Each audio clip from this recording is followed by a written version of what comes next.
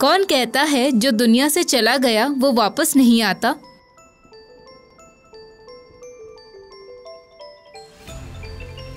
जी हाँ इसरो अब स्पेस चले गए रॉकेट के अंतिम चरण का इस्तेमाल करेंगे अंतरिक्ष प्रयोग के लिए। जनवरी 2019 में P S L V C forty rocket launch के दौरान इस नई तकनीक का प्रदर्शन होगा। इसरो के चेयरमैन के मुताबिक इस तकनीक से बेजान पीएसएलवी में जान फूकी जाएगी। स्पेस में नए प्रयोग के लिए ये एक प्रभावी लागत तरीका होगा। अलग से नए रॉकेट भेजने की ज़रूरत अब नहीं पड़ेगी। आपको बता दें, इसरो के चेयरमैन के मुताबिक भारत एकमात्र ऐसा देश है जो इस टेक्नोलॉजी पर काम कर रहा है। इससे स्टूडेंट्स और स्पेस वैज्ञानिक इसके बाद मुफ़्त में अंतरिक्ष प्रयोग कर पाएँगे। क्या ये मिशन कामयाब होगा? आपको क्या लगता है?